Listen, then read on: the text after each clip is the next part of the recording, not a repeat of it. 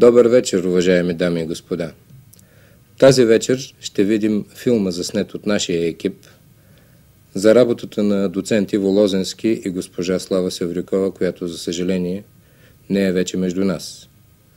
Ще разгледаме въпроса за ясновидството заедно с господин Стойо Стоев, когато поканих в студиото, да изкаже своите мнения и теоретичните постановки по този въпрос в съвременната наука. Между многото екстрасенси в България един особен феномен представлява Слава Севрикова. Слава Севрикова или Леля Слава е вече на 87 години. Тя започва да проявява своите способности още от 5 годишна възраст, но по-сериозно вече нейните способности се използват в началото на 60-те години, когато тя се запознава и свързва с доцент Иво Лозенски. Особеното при нея е, че тя насочва своите способности не в сферата на лечението, не в сферата, кажем, на телепатия или други области, а в научна област. Самата Слава Севрикова има а, начално образование. Тя е завършила четвърти клас или четвърто отделение. Миналото и само определено малко време е ходила в пети клас. А, но насочвана от доцент Иво Лозенски, тя може да прониква в различни структури. Както самата тя се изразява, аз мога да проникна в земното ядро, мога да проникна в а, а, огненото гърло на вулкан, мога да се пренеса на Северния полюс, мога да проникна в организма на отделния човек или в структурата на атома. Така именно и я насочва Иво Лозенски, за да правят различни научни открития. Тя няма представа какво е да кажем микрон, но той посочва. Ето виж, това е милиметър. Хайде сега, опитай се да разделиш милиметъра на хиляда части. Можеш ли? Мога, казва тя. Ето сега а, погледни електрона, да кажем, или атома. Представи си колко пъти се нанася ето тази частичка, една хилядна от а, милиметъра и ми покажи каква е величината. По този начин, насочвайки, той я използва просто като апарат, за да прави едни или други открития. Слава Севрикова има възможност да се принесе в лабораторията на един и друг учен, да види неговите записки, да види неговите експерименти. Само, че казва, от морални съображения. Аз никога не бих издала това, което видя, което е секретно и което принадлежи като авторско право на този учен. Така Иво Лозенски, например, използва дани, а, възможности на Слава Севрикова да проникне и да му очерта как вижда ядрото на атома. Всички знаем, че моделът, който е разпространен във всички учебници и се използва от науката, ядрото на атома има сферична кръгла форма. Слава Севрикова обаче посочва, че атомът, неговият модел, не е точно сфера, а е удължена елипсовидно. И посочва, че самото ядро не е като топче, сферичка, а като пръстен. От тук тя посочва как са наредени, да кажем, атомите в едно или друго вещество. Не само тя как ги обрисува, което това е изложил в научни свои трудове Иво Лозенски, но тези техни зафиксирани данни след това се съпоставят с данни, публикувани по-късно в американски научни списания от снимки, направени с най-големите сега на микроскопи, които показват, че имаме пълно съвпадение между това, което е видяла в структурата на веществата Слава Сивирикова и това, което е показал микроскопа и снимките направени с микроскоп. По този начин Иво Лозенски и Слава Севрикова са регистрирали няколко от научни открития с колектив и с други сътрудници от Минно-геоложкия институт в София, които са патентовани от Индра в България. Какво е схващането на Слава Севрикова за на ролята на тези способности и въобще как се осъществява тази информация и контакти? Според Слава Севрикова, мисълта е с много силна енергия. Мисълта не е чисто е, духовно нещо. Тя е едновременно и материална. Слава Севрикова дори посочва цвета на мисълта. Тя казва, има сив цвят. Тя притежава огромна енергия и се пренася с скорост неколкократно по-голяма от тази на светлината. Тя може да предизвиква различни промени. И затова Иво Лозенски и Слава Севрикова говорят за пси-вещество и пси-енергия. Случаят Слава Севрикова показва, че екстрасенсите способности могат да се използват не само в, с медицински цели или с други практически цели, да кажем в областта на геологията или търсенето на вода и прочее, но и с точно конкретни научни изследвания. И ако много от екстрасенсите насочат тук своите способности, могат да помогнат и на науката за извършване на чисто научни открития. Това е също едно национално богатство. Това е вакуум. Аз спирам атома, ядрото. Аз го вадя. Аз го режа. Аз правя орбита.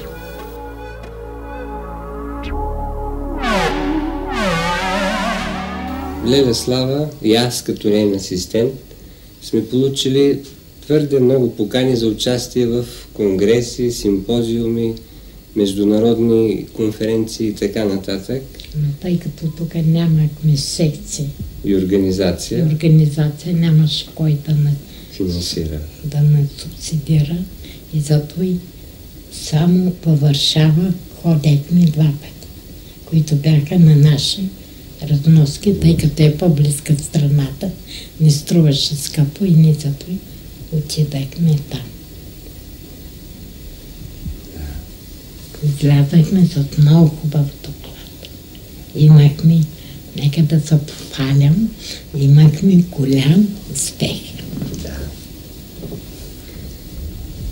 И впечатляваща и поканата, която получи Леля Слава още през 80-та година за участие в Международен конгрес по акупунктура в Испания, Палма де Майорка, който конгрес беше проведен под патронажа на испанския крал. Бяхме поканени като сътрудници в американското списание Psi Research, издавано в Сан-Франциско. В... Десна. Да, докладите могат да се пращат, както ми казаха, на 10 езика. 5 западни и 5 източни. Там е отпечатан един наш труд нали, за човек и космос. И там с удоволствие така очакваха нашите трудове и изследвания в тази област. Но тъй никът сме патриоти, искаме в нашата страна. И зато и сега искаме монографията да излезе първо в България, е. а след това навън, макар че ни предлагат обратното. Познавам госпожа Северока от 62 година. Нека да наричам по-нататък Леля Слава. А от 63-та година с нея работим, така може да се каже, в областта на психотрониката, целенасочено, планомерно. Оказа се, че тя може да проника във всички области на човешкото знание. От 1981 година започнахме, може да се каже така, системни изследвания в областта на микросвета. Много хора идваха при нас, научни работници, и просто те ни потикнаха към тази работа, казвайки, абе, Лерославе, ти всичко виждаш, надникни в атома. Знаеш ли колко е това интересно за научния свят? И ние решихме да опитаме. Аз лично бях сигурен, че тя ще проникне в атома, тъй като имаме вече един много голям стаж в тази област и знам силата на нейното виждане. Започнахме нали, с лекия водород. Най-напред тя го видя като газ, описа го, някои негови свойства. Проверихме, за да сме сигурни, че това е именно водород, а не някой друг газ. И след това аз си казвам така. Според учените, този газ се състои от едни много малки частици, наречени атоми.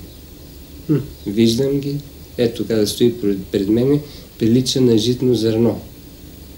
Като го увеличи, се оказа, че има форма на правилен елипсоид.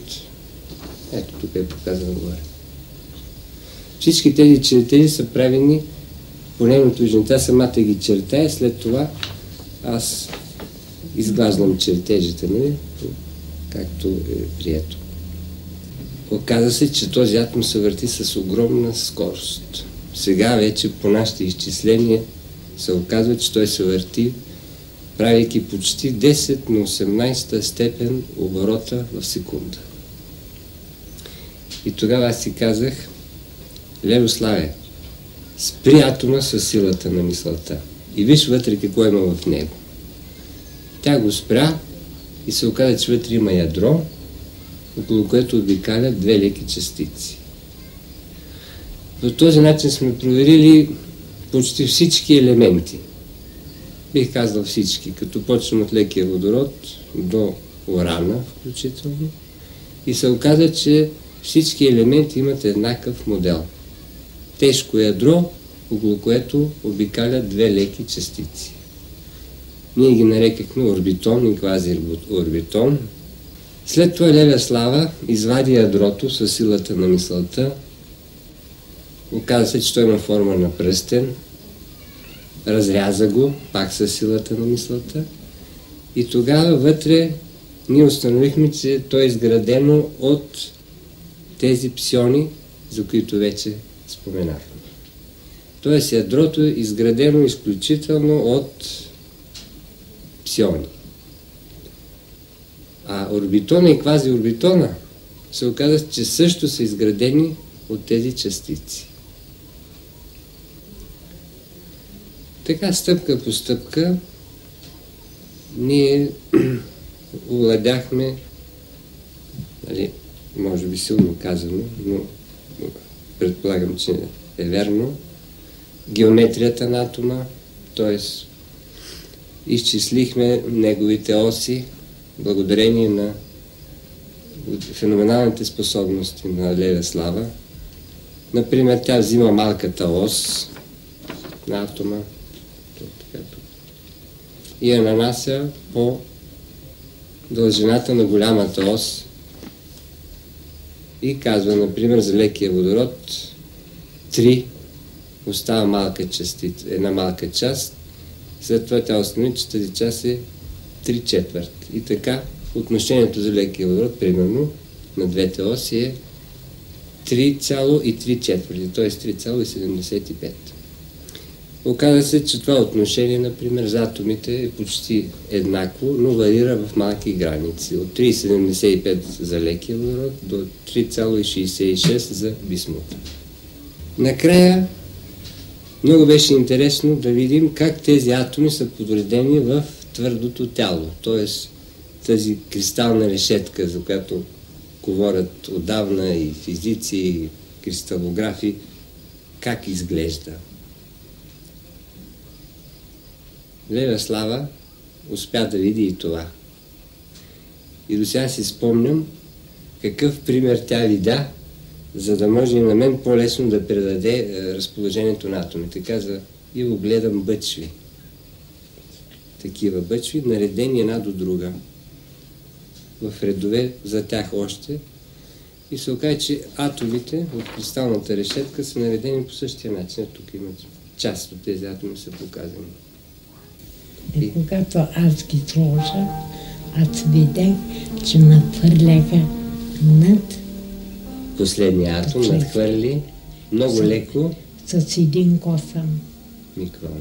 И казвам, Ило, един косъм е. Аз може би да го оценя една 64-та, която се надхвърли над микрон. микрон. А броя на лекодорните атоми се оказа 900. 900. 900. И от тук веднага изчислихме размера на лекодородния атом а оттам размера на всеки друг атом, тъй като ние установихме една проста зависимост между атомната маса на всеки химически елемент и неговите геометрични размери. И по-късно вече се получи едно много добро съвпадение с размерите на силициев атом, които са дадени на една микрофотография, получена с помощта на свръхмощен растърен микроскоп. До сега имаме 9 публикации в различни списания, включително и чуждестранни, засягащи както въпроси свързани с психотрониката, така и въпроси свързани с известни научни изследвания, разработване на прибори и така нататък. Освен това имаме и три изобретения, които са в авторски колектив. Тези прибори, които са разработени и са получили авторско свидетелство, са предназначени за експресно определене на карбонатното съдържание в скални проби. Сега подготвяме за издание една монография, която обобщава целият наш опит и наблюдение в областта на микросвета. Аз най-напред се съчувствах, че нещо, като че ли в другите деца съм нещо по-друго. По-друго. Да, семейството ми средна ръка. Аз съм от Нова Загора. И първата войната, дето световната, аз тогава бях, може би, 7-8. Не мога точно да кажа годината. Ние живеем срещу казармата военната. Тама никъде свет няма. Да. И майка ми каза, дай да излезем да си прибереме малко дърва, дръвника и кофа вода. Разбира се, излязахме с нея. В това време ние чуваме по Старзагорското шосе, тъй като ние живеем накрая. И шалон, войнишки, разбира се. И леко рами с мъгла. Да, те викат на добитъци, добитъците трудно върват. И тогава майка ми каза, ей, сега дъжд вали, къде ще се приютат? Войник е, казарма, студен. И се обръща къде мене и казва, Тано, няма ми писмо от татко ти, вече ще стане три месеца, какво стана? Батко ти, големия ми брат е на фронта, от него имаме писмо. Знаеме го, че е жив, като получахме писмото. Другия ми брат е в Петроваци, той млад войник там. Да, но татко няма писмо. В това време аз се намирам на татко в първа братовчетка, която и казвах аз Леля. Намирана съм в кухнята и гледам над огнището. Има лека, леко такава поличка. И там гледам няколко чашки кафени. Зад тях гледам картичката на татко. Това става в момента. Да. И веднага аз казвам на, на майка си, мамо, не има ми писмо от татко. Та така му погледа и каза, кой ти каза? Казвам, писмото е в лелекана. Та или кой ти каза? Аз казвам, един от детето, момчето. То ми каза, Пет. Да. Мама нищо не ми каза. Наведи се, взема кофата, прибрахме се. Ние с малки легнахме. Мама почна да преде, като отвори на печката вратата да свети. Сутрената аз гледам мама, излиза, облече се, излиза и ми каза, аз отивам там. Знам, че отива в Лелини да вземе писмото. И когато тя влиза в двора, и тази вика, Мария, знаеш, имаме писмо от наша ран. Страшно се безпокои. Защо нямате писмо? Той няма писмо от вас. Мама каза, аз идвам за писмото. Как идва за писмото? Аз го получа по ден и нямаше кой да дойде да каже. Днеска мисля да го донеса. Мама казва, казала е, Петко каза на Тана, че има писмо. А, ме те каза, от една седмица съм на цел. Мама рекла, не знам, не знам како, но дай ми писмото. Той ми беше първо, което видях и то не е само да чуя, аз тук чувам, тук. А такава малка бях. И тогава вече се зареди. И в училище, когато учителка преподава. После минах и в първи клас. Един курс и малко по един срок и малко повече. И стана холера. Децата ме разпуснаха. На другата година вече ми напусна. Майка ми не ме пусна, защото имаше сам до трети клас гимназия нямаше в Новата гора. И от тогава насам до днес дарбата ми се върви. Той ми беше първото, когато аз видях. Аз не мислех и никога не съм мисляла, че аз мога да виждам частици, атоми и тайна нататък. Защото нямах това образование, за да се насочвам. Но дойдоха хора, които ги интересуваше в това и те ме потикнаха. И ние почнахме с доцент Лозански, тъй като с него ние работиме от 63-та година. Почнахме най-напред да видим ядрото на атома. И представете се отдаденица. А с силата на мисълта постепенно едно след друго ни почнахме, най-напред почнахме от лекия водород. Тъй като аз нямах представа, що значи лекия водород, но тъй като Лозански, знаете, аз ще го наричам Иво. Тъй като годините ми позволяват така да го наричам. Той почна постепенно да ми задава въпроси. Толкова беше мъдър, толкова беше внимателен, че аз и обикнах физиката. Тъй като казах, нямам това образование, но благодарение на силата на мисълта, на виждането, което аз виждам, успях да овладея.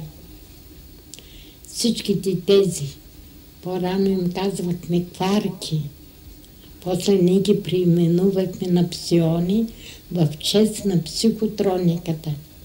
Те не са делими.